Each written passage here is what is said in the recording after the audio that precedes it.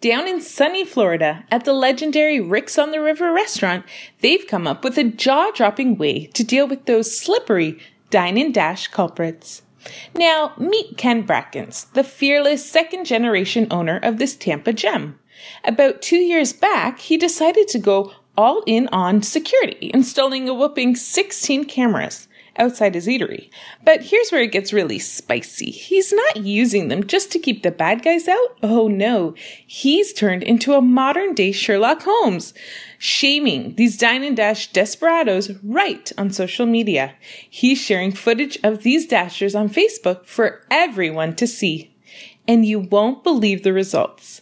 Ken's got almost a dozen of these Houdini wannabes, and they've all ended up coughing up the cash, and might I add, begging him to scrub those embarrassing videos from the internet. Ken spilled the beans to dailymail.com saying, We believe it's been a deterrent for those that have been caught. They're embarrassed and hopefully won't do it again in the future. Now, let's dive into the latest episode of this real life dine and dash drama. Recently, an employee confronted a lady in a fancy Mercedes in the parking lot. Cue the circus music, folks. The video zooms in on her face, capturing every detail, and even snags her license plate. It's gone viral, racking up almost 9,000 views and hundreds of comments. Most folks are cheering on Ken's unconventional antics while giving this dine and dasher a piece of their mind. The caption on social media says it all. This latest Dine and Dasher spent her beer money on a fancy late model Mercedes. She refused to pay her entire tab because she said the wind blew over her pitcher of beer. There were only a few ounces of beer on the deck. True story. Ken's not buying her telltales though. He told Tampa Bay Times, I think she's sticking to her story that it wasn't really a dine and dash and didn't owe the tab. Oh, the audacity! But wait, there's more. The feedback on this whole spectacle has been a roaring success. Ken says it's been overwhelmingly positive, and he noticed a drop in these dine and dash escapades since he started airing their dirty laundry. And get this. Other restaurants have been calling him up, asking for tips on how to deal with their own serial dine and dashers. It seems Ken's become the guru of restaurant justice.